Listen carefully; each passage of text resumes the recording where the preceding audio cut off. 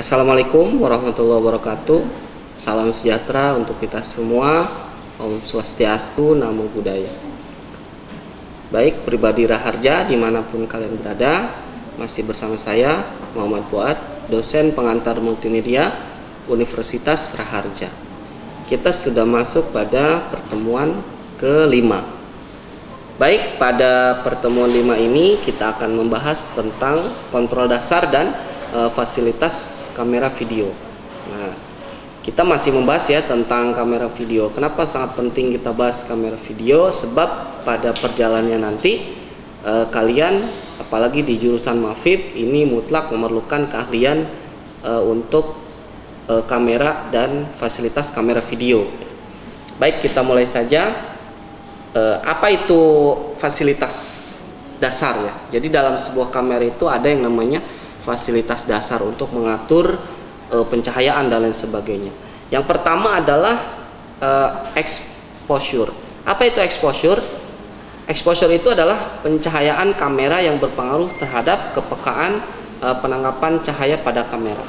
Jadi untuk mendapatkan gambar yang normal, tidak gelap ya, eh, dan tidak sangat terang Nah, jadi exposure ini adalah satu penentuan pencahayaan di mana gambar yang dihasilkan itu jangan sampai terlalu terang atau terlalu e, tidak terang atau overexposure. Kemudian unsur-unsur yang harus diperhatikan. Yang pertama adalah diafragma. Nah, diafragma disebut iris yaitu sejumlah lembaran metal tipis yang disusun sedemikian rupa sehingga bisa dibuka dan ditutup untuk mengatur banyaknya sinar yang masuk ke lensa kamera. Kemudian ada ND filter atau neutral density. Jadi berfungsi mengurangi intensitas sinar yang terkuat, yang terlalu kuat ya, tanpa mempengaruhi kualitas warna cahaya. Nah, filter digunakan bila kondisi cahaya terlalu keras.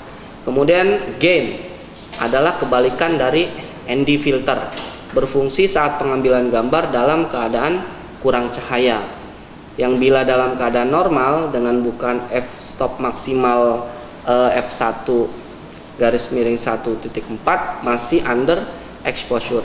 Dengan gain bisa mengangkat exposure secara digital dan konsekuensinya gambar menjadi agak koral ya, agak pecah. Kemudian yang kedua ada filter color. Nah, berfungsi mengubah atau mencocokkan cahaya yang masuk ke dalam kamera. Nah, filter color ini terdiri dari empat pilihan. Yang pertama adalah 3200K.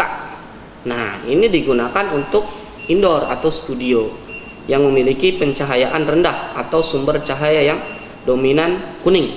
Nah, kemudian 5600K plus 1 per 4 ND yang digunakan untuk outdoor yang mempunyai sumber cahaya matahari terik atau top light. Kemudian 5300K yang digunakan untuk outdoor dan indoor dengan sumber cahaya dominan putih atau cahaya kebiruan daylight. Kemudian 5600K plus 1 per 1 6 ND. Nah, yang digunakan bila intensitas sumber cahaya sangat tinggi, misalnya di pantai dengan matahari terik atau overlight. Nah, kemudian fasilitas yang lainnya adalah zoom. Nah, zoom ini adalah gerakan lensa mendekati atau menjauhi objek secara optik dengan mengubah panjang vokal lensa dari sudut pandang sempit ke sudut lebar. Kemudian fasilitas selanjutnya adalah fokus. Nah, pengaturan lensa yang tepat pada jarak tertentu membuat gambar setajam mungkin merupakan hal yang sangat penting ya. Jadi hampir semua kamera dilengkapi dengan fasilitas uh, fokus otomatis autofokus. Kemudian gambar dikatakan fokus apabila proyeksi gambar yang dihasilkan oleh lensa jatuh pada permukaan tabung atau sisi dijelas dan tajam sehingga tampak juga viewfinder dan monitor. Kemudian uh, fasilitas selanjutnya adalah DOP atau depth of field. Adalah daerah kedalaman pengambilan gambar yang membuat benda terlihat fokus Dop ini mempunyai daerah yang luas dan sempit. Nah, daerah sempit berarti hanya daerah di tengah area yang fokus. Kemudian daerah luas bermakna seluruh daerah akan terlihat uh, fokus. Nah, kemudian fasilitas selanjutnya dari sebuah kamera video adalah audio level. Nah, pada kamera analog, perekaman gambar dan suara dilakukan secara terpisah. Namun pada kamera digital, apalagi kamera eh, zaman sekarang ya, ini dimungkinkan perekaman dan sinkronis audio dan visual menjadi satu. Sementara pada proses editing suara dan gambar ini dapat dipisah. Nah, ada beberapa hal yang perlu kalian ketahui ya untuk mendapatkan suara yang jernih untuk keperluan khusus. Nah, jadi mikrofon dapat dikelompokkan menjadi beberapa jenis. Yang pertama, omnidirectional, yaitu jenis mikrofon yang dapat merekam suara dari semua arah. Kemudian yang kedua adalah unidirectional.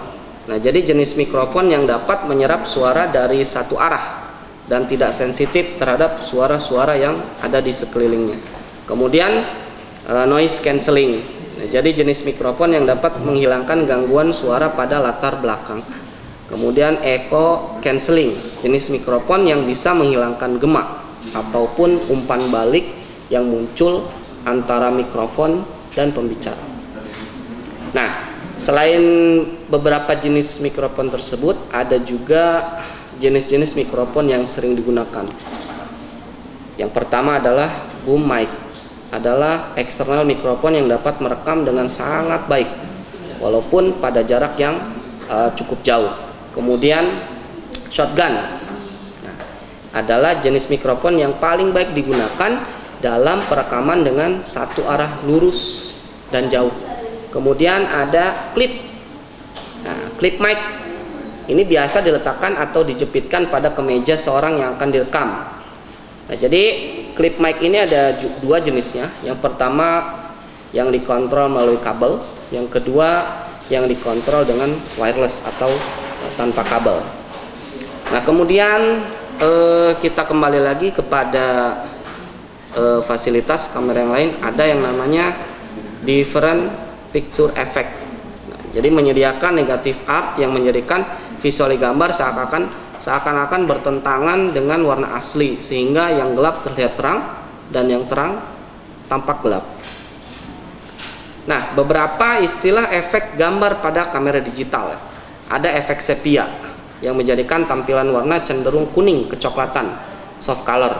Kemudian efek BNW yang membuat visualisasi warna menjadi hitam putih Kemudian ada efek solaris yang menegaskan warna sehingga kontrasnya begitu tampak jelas. Kemudian efek slim yang membuat tampilan gambar terlihat meninggi. Kemudian efek stretch yaitu kebalikan dari efek slim yang membuat tampilan gambar terlihat memipih horizontal. Kemudian efek pastel yang mengoreksi warna gambar menjadi lebih soft. Kemudian efek mozaik.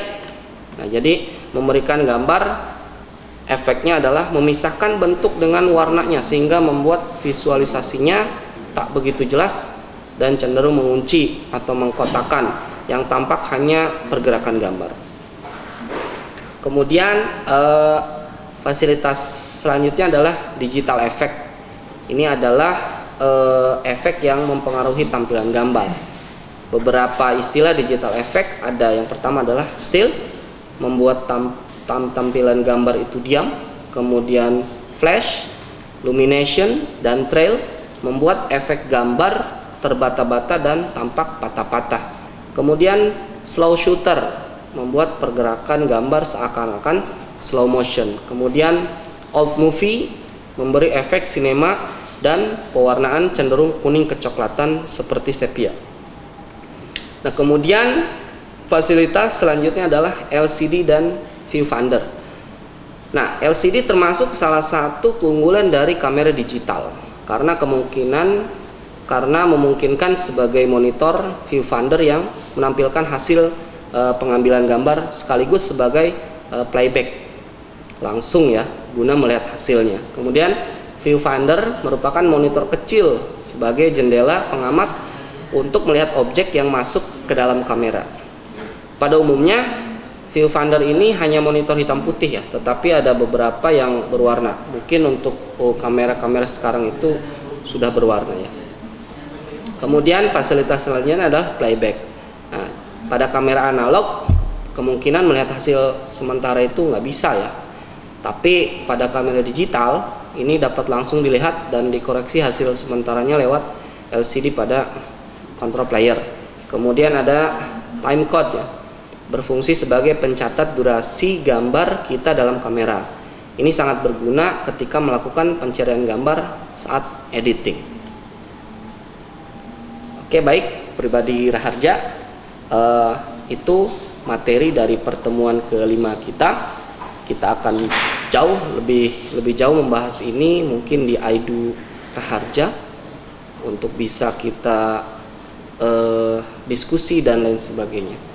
Saya ucapkan terima kasih. Wassalamualaikum warahmatullahi wabarakatuh.